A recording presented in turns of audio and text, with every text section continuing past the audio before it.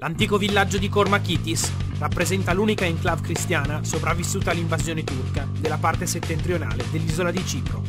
Qui vivono tre suore francescane del Sacro Cuore, che nonostante l'arrivo della mezzaluna non hanno mai rinunciato. Ogni di fraternità tutti di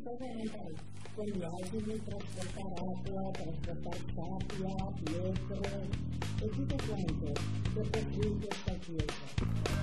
La campana della chiesa di San Giorgio è l'unica che dal 1974 non ha mai smesso di suonare a Cipro Nord.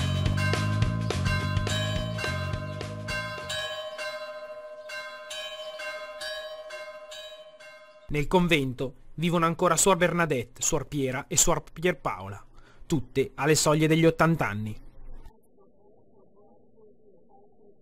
All'epoca della guerra si trovavano nella parte greca, ma incuranti del pericolo scelsero di tornare fra i turchi, perché non potevano lasciare la popolazione cristiana in balia degli invasori musulmani.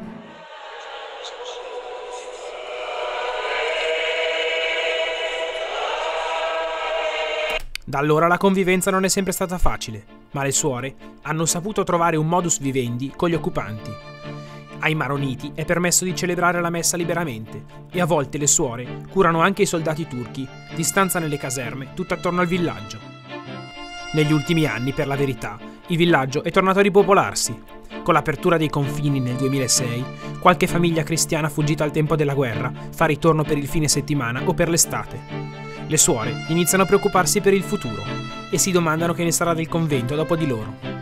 Ma non c'è tempo per pensare all'avvenire e a chi chiede loro che ne sarà del domani, le suore rispondono serafiche, ci penseranno la provvidenza e San Giorgio.